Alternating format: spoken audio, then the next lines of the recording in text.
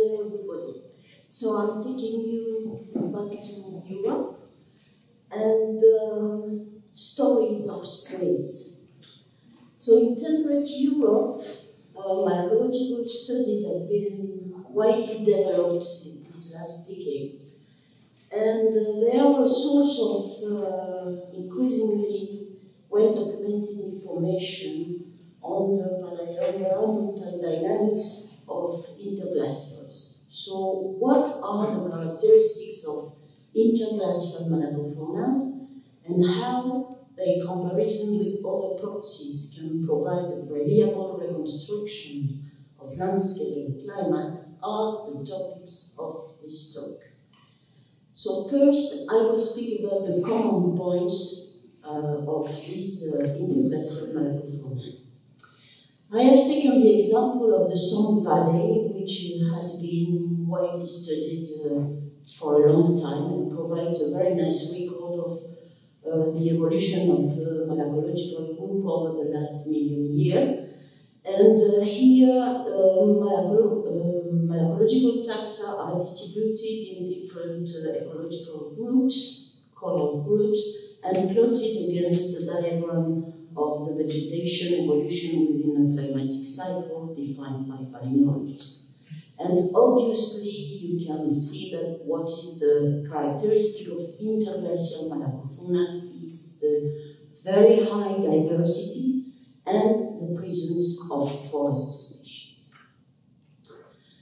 So if we compare how these forest species appear in different interglacials, uh, we can see that there is a common pattern of, of distribution and evolution of these faunas.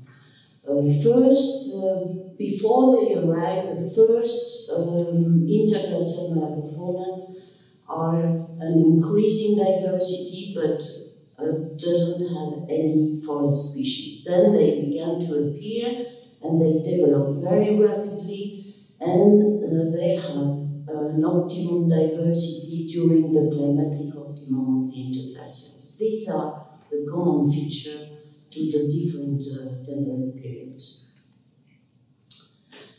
Um, but the order of appearance of these four species is important, and among them uh, there is a particular mention need to be done on two species belonging to the genus Discus, these are Discus ruderatus, which is the first one, and which is followed by Discus rotundatus at the beginning of the interglacial. The first succession was uh, identified in the Holocene sequences, and um, these two species succeed uh, the, in time, and sometimes they are recorded together, but when it is the case, then the, the first Ruderatus shows a declining population while Rotundatus is expanding.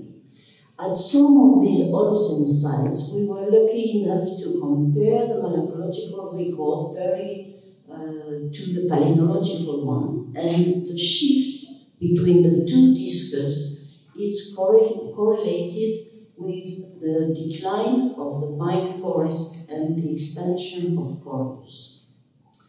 So what uh, you need to know also is that Ruderatus today is a boreal-alpine species uh, living in coniferous forest, while uh, Discus rotundatus, the second species, is a forest species distributed largely but in Middle Europe and uh, only reaching north, not, not more than the south of Scandinavia.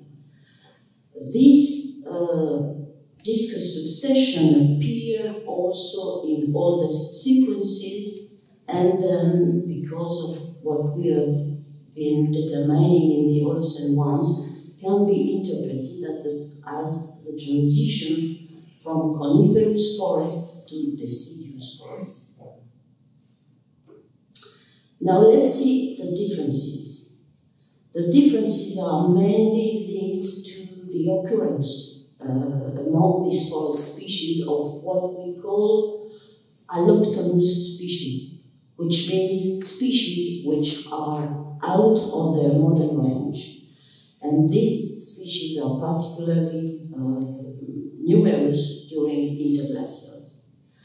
So they can appear as just single species can characterize a complex of interglacial, which is the case of Tanousia during the Cromerian, or you can have a single species uh, Uh, which occurrence is limited to a single interglacial. This is the example of Aegopis during stage 9. But most interesting is that some interglacials can be characterized by a group of species, by assemblages, and this is the case for stage 5e or stage 11. And stage 11 is the mm, better known of this, better defined of these um, malacological assemblages by uh, the Rhenish fauna in aquatic habitats or by the Lyrodiscus assemblage uh, in terrestrial ones. Uh, to this, this example of the Lyrodiscus is, is the most uh, interesting that we have uh, now, and it is um, it has been recognized over a bunch of sites in uh, northwest Europe, northern France, and southeastern England, in sites where it has been, which have been dated by different uh, radiometric uh, methods uh, and allocated to stage 11. The, the um, assemblage is composed by a bunch of extinct species and uh, a group of species which are now beyond uh, their modern range. And they defined a very peculiar environment biotope of forest, uh, humid, very, very dense humid forest. And among these sites, uh, there is one particular which is interesting, is La Celle in the Paris Basin, because it is uh, the site is a tufa of several meters thick and it provides the longest record of this uh, appearance and development of this Lyrodiscus fauna. So at La Celle, uh, the composite malacological diagram allow to identify four environmental uh, steps. The first one is composed by an assemblage of marshy and open ground. And then the forest species appear and they develop very rapidly during the second phase. And during the second phase, the discus successions allow to identify uh, the first episode of pioneer forest and followed by the spread of the deciduous forest. Then there is the maximum diversity of this forest taxa corresponding to the optimum of, uh, of the interglacial. And finally, the fourth phase shows a strong decrease in these forest species, uh, while some Ioaphilus uh, taxa expand and allow to define an episode of forest decrease, forest humid uh, episode. Uh, so this, uh, on this diagram are plotted the occurrence of this only the forest taxa. And uh, because this story, as I said, is very detailed, uh, it can be used as a model to set in the other record, the other malacological record of stage 11, in order to provide um, a relative chronology inside the interglacial, which of course is not reachable through, with the radiometric method. So using uh, the order of appearance of, of these um, forest taxa and the level of diversity of this assemblage, uh, these different uh, other sequences can be set in the model of La Celle. So Saint-Acheul and Arrest appear at the end of the, the phase of forest development. Uh, Vernon and Saint-Pierre-les-Elbeuf correspond to the maximum development of the Lyrodiscus assemblage, and the sites, the British sites, Beeches Pit and Itchen, are still in the phase of the optimum, or, but during the phase of when the, the species are occurring less regularly in the first part. And finally, the upper part, oh, sorry, the upper part of Vernon sequence correspond also to this, the phase of declining forest extension. So here we can um, so define this uh, very more precise chronology inside an uh, Pleistocene interglacial. So now let's move to other indicators uh, to be compared with the malacological succession and here I must say a word about two TUFAS. All the sequences I have presented before are coming from TUFAS. Why snakes and TUFAS? Obviously because they are composed of uh, calcareous and uh, so they are very um, favorable to the development of uh, malacological population and to the preservation of shells.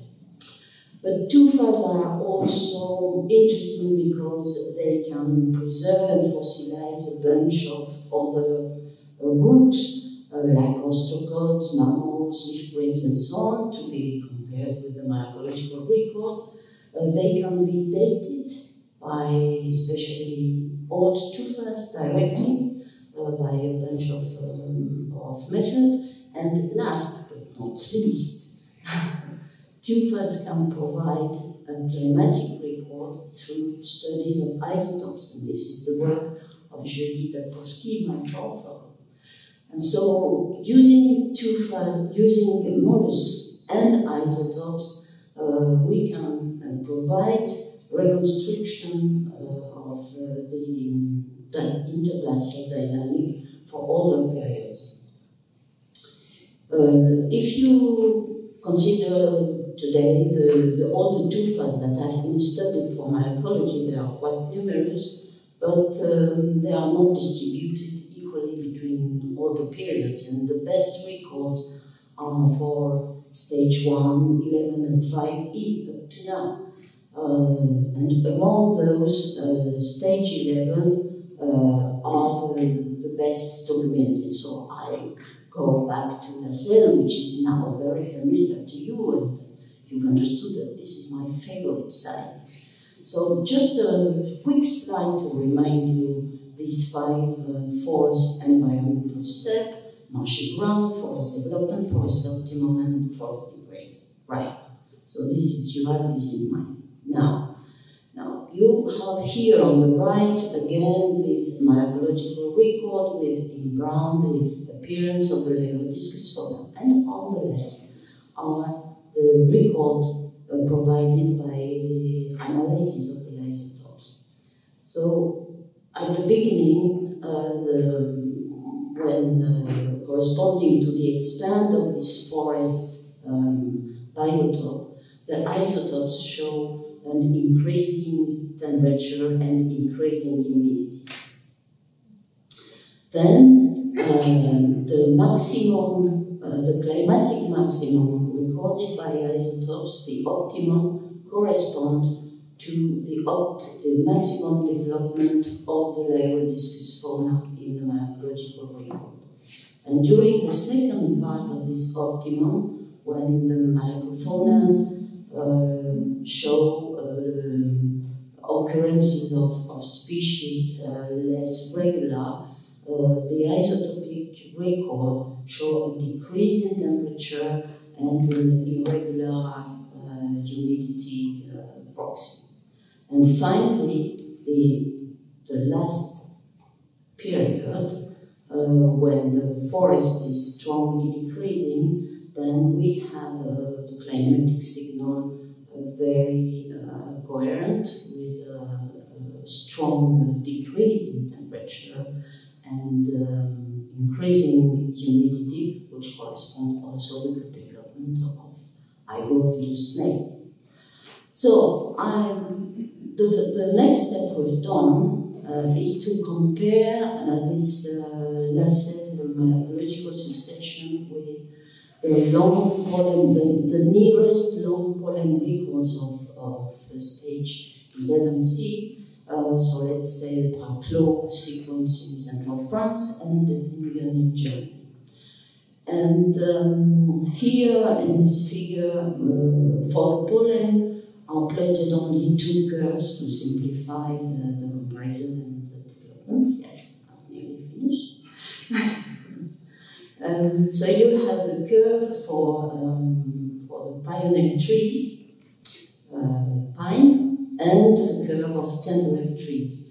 And what you can see is that uh, on both pollen sequence, the shifts from the pioneer forest to the deciduous forest uh, correspond to what is seen in the malacological succession at the set at the beginning and uh, after the, the interglacial optimum. Uh, more than that, there are two small um, episodes in the Dethlingen uh, sequence of uh, extension, new extension of pioneer trees, which have no um, malacological answer in uh, at La Celle, but uh, we have in the, in the stratigraphy uh, identified two hiatuses and maybe we can, well, we have still to work on it, but maybe there is something to, to say about the correspondence between these hiatus and this stop in the development of tufas and uh, some um, microclimate or or paleoenvironmental changes within this uh, stage um, 11C. So, to conclude, um, it's, um, I hope I have convinced you that uh, thanks to SNAIDS plus isotope, it's possible to uh, reconstruct a very accurate climatic and environmental dynamic of uh, Pleistocene interglacials. And concerning particularly the site of, of La Celle, uh, we are now proposing it as a key record site for MIS 11C uh, record continental reference for Northwest Europe, uh, because in this area uh, we have no, no concrete accumulation and no lake. So the fluvial record is uh, one of the our best chance to get some reference sequences for these periods. Thank you very much for your attention.